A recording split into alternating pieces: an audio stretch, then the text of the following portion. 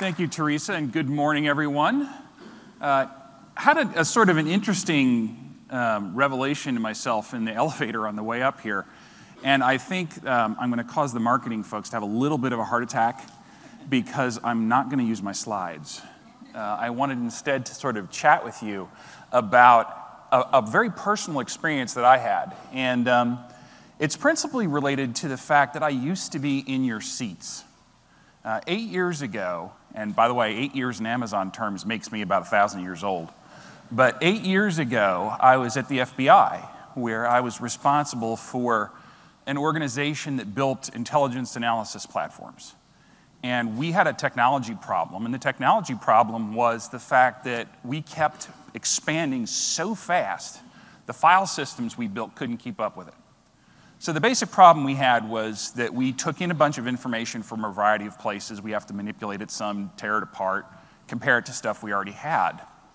Well, you need the, the decomposable components that you would expect in that circumstance compute, storage, database, queues, triggering systems, et cetera. And we built those internally with our staff. But the problem was our workload was doing this. And the other half of that problem, of course, is that our budgets were doing this. And so we had to find a better way to manage that particular issue.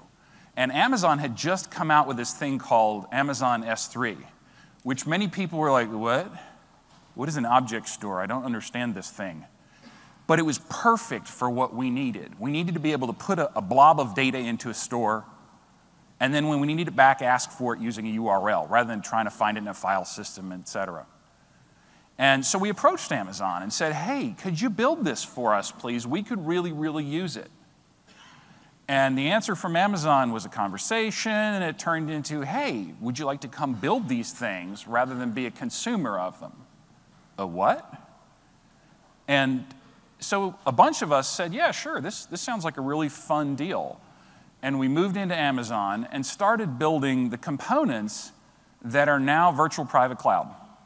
So, a group from the, the public sector moved into a crazy fast technology company and built the underpinnings that run the entire AWS cloud right now. So, we own VPC and we built it. And people don't realize how influential the requirements of the public sector are. Literally, the reason we built VPC was because of the security requirements that this customer set has. And that was something that sort of shocked me as wow, this was really a seminal event in, in the ability of AWS to support protected workloads. Eight years later, of course, we're happy to have the US intelligence community say, yep, you guys are appropriate for our use.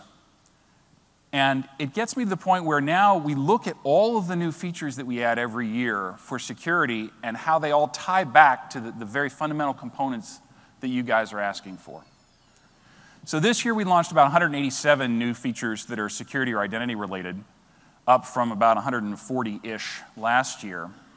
And it's an area that we continue to invest. If you look at the, the features that we have, it gives you the ability to have incredibly fine grained access control. It gives you the ability to have very, very ubiquitous encryption across the infrastructure, to push down key management systems to all the systems that need to consume those cryptographic keys but do them at a velocity that supports the AWS scale, and do them at a durability and availability that you expect as customers. And when you look at that and come back with what are the decomposable parts that we offer now as a platform, I could build that entire system that I had at the FBI using the pieces that are in AWS right now. As an exercise, we did. And the irony was a, a system that took us a whole lot of people to build in prior years and an enormous amount of money as a taxpayer. It makes me hurt. We now built with four folks in three weeks and spent about 80 bucks.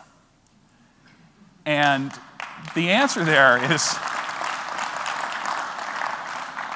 the, the thing that was really liberating for me as a result of that was the fact that you can react rapidly to changing demands in your environment. No, we built that system because it was the only way to get at the information we needed to do our job to help protect our country. I now do the same thing within this organization to protect our customers.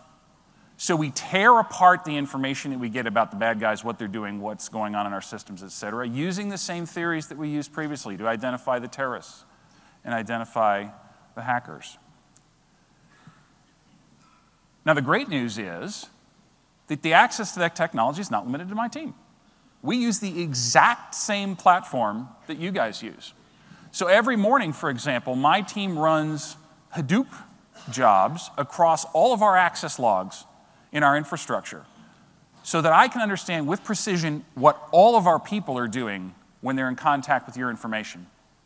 So I literally get a email every morning that tells me on the EC2 infrastructure exactly what every Amazonian did when they executed a privileged command.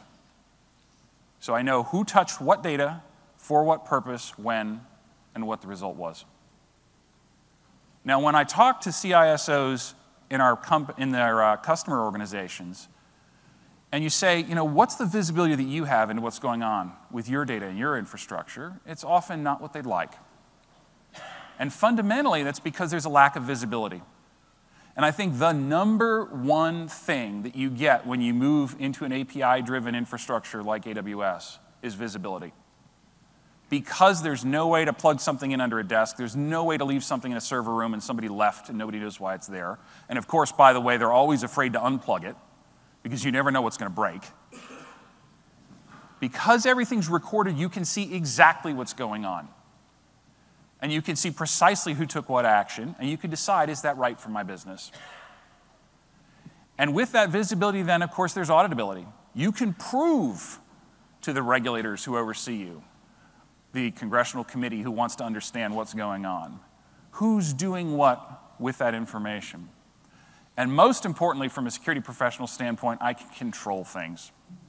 I can control exactly who has access to what data from where, when, and how. And that puts me in a tremendously liberated position. When you hear Andy Jassy talk today in his keynote, he's going to focus on a lot of different new features out there, but he's going to spend, given the audience, an amazing amount of time on security features, which we're really proud of. And one of the things that we did was, again, extending the public sector model into the private sector the idea of continuous monitoring and continuous compliance is not something that's very uh, popular, really, in the private sector, but it's something, of course, the government focuses a lot on.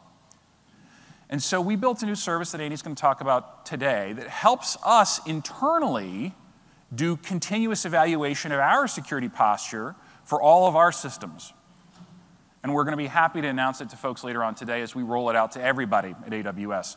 Uh, I own the application security team. We do our evaluations of all our services uh, in terms of how are they built, uh, what kind of crypto they use, how do they manage keys, um, how do we process various kinds of data. We took that knowledge, packaged it up into a service, and we're making it available now to customers. Um, so you'll hear more about that later on today. So to get back to my story originally, um, when I got an opportunity to, to talk to you folks, I wanted to say I think the thing that you underestimate the most is the influence that you have on the technology business as a whole across the planet. Now, Teresa pointed out that many, many companies are using FedRAMP now as a proxy for appropriate operations because it describes controls that represent an amalgam of what people believe to be the right way to control data. And we've been FedRAMP compliant with our infrastructure for a long time. We're very proud of that. There's an enormous amount of work that goes into it.